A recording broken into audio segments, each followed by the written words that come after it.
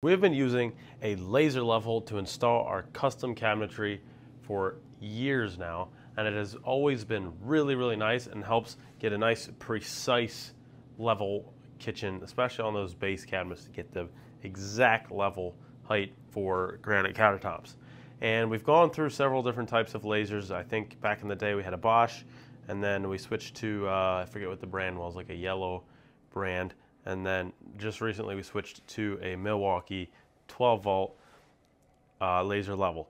And this has been my favorite laser level so far. So I'm just going to be going over some of the pros and cons of this specific laser level and also the tripod that we use. And we're going to link these products in the description. So if you're interested in checking them out, you can click those links and buy the product. So to start out, I mean, it's a pretty simple function. Um, there's a dial on here and it's there's off, on, locked, and on leveling. So if you turn it on, it creates a beam and it's manual leveling. So you can put it wherever you want or put it on an angle or whatever. And then if you unlock it, it automatically levels if you have it within a certain amount of degrees. And that's the function that we always use. Um, so we usually determine the height of our base cabinets and then we can set our laser right out there. The laser is a little bit wider than uh, some lasers we've had in the past. And that's really nice for what we do because um, when you're splitting a laser down the middle, if it's extremely small, it's very, very difficult to have the laser on the whole cabinet and be able to have a good feel for how it is. So since the, the beam is a little bit wider, we're able to get it a little bit more precise and it very, very, very easy to use. Um, and then there's a couple different modes. So that's the default mode. And then vertical, the X, so vertical and horizontal.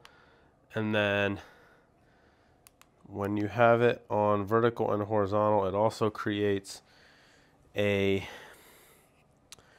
like a plumb laser. So it puts a laser um, on the top, like a just a pointer on the top and on the bottom. And so you can use that to get stuff uh, lined up, like lights and stuff like that.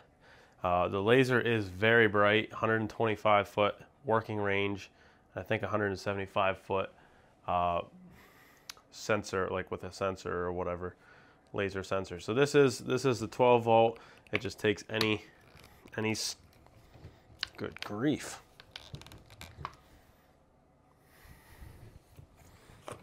It takes any standard 12 volt battery slides right in the top there and it lasts a long time i think 15 hours of of lasering.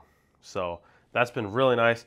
As far as the tripod goes this the, it is a rather specific tripod that we use and there's not very many of them um, that have some of these features. So the biggest thing is that it's a tall it's a tall tripod and that it has this crank system here um, a lot of them have just a thing that you loosen and move it up and down and you it's very hard to get it precise. So with these you can get it close with the legs and then you can take the crank and just adjust it as little as like a 30 second and get it very very precise. Um, so yeah like I said I'm gonna have that in the description so you can you can check that out and you know exactly which one we use.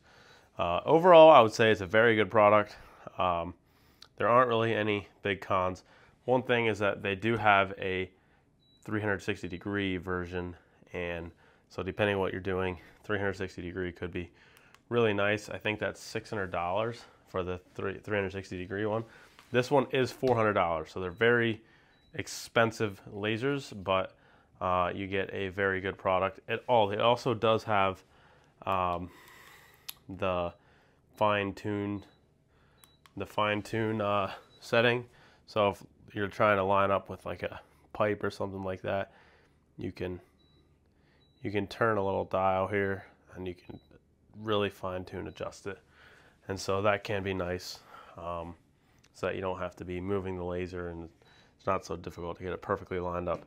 So that pretty much sums up what the product is. Overall, really great product as long as you're okay with the price. Um, absolutely no complaints. Very bright, in comparison to a lot of the ones we had. And the rechargeable battery is a huge plus. So overall, I highly recommend this laser. Uh, yeah, that's pretty much it. Thank you guys for watching. We got more videos in the future.